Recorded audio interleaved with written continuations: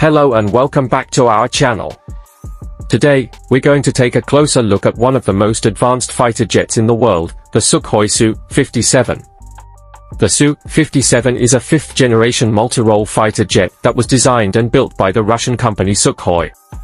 It's a highly advanced aircraft that features a range of cutting-edge technologies, including stealth capabilities, advanced avionics, and supermaneuverability. One of the key features of the Su-57 is its stealth capabilities. The aircraft is designed to be highly resistant to radar detection, with a range of features that reduce its radar cross-section. The Su-57 is also highly maneuverable, with the ability to perform a range of advanced aerobatic maneuvers.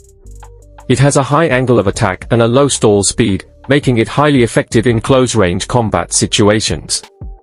In terms of performance, the Su-57 is highly impressive. It has a top speed of over Mach 2, and it's capable of climbing to altitudes of over 60,000 feet.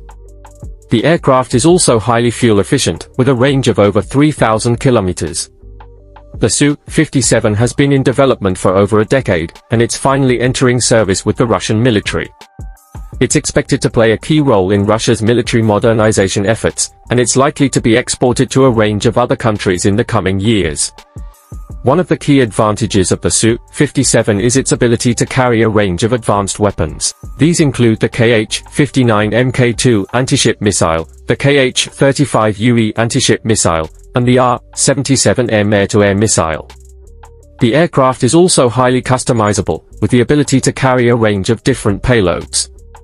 In terms of future development, the Su-57 is expected to undergo a range of upgrades and improvements. These include the integration of new sensors and avionics, as well as the development of new weapons and other capabilities. Overall, the Sukhoi Su-57 is a highly advanced and highly effective fighter jet. Its stealth capabilities, advanced avionics, and supermaneuverability make it a valuable asset for any military force. Thanks for watching. If you have any questions or comments, please leave them in the section below. Don't forget to like and subscribe for more videos.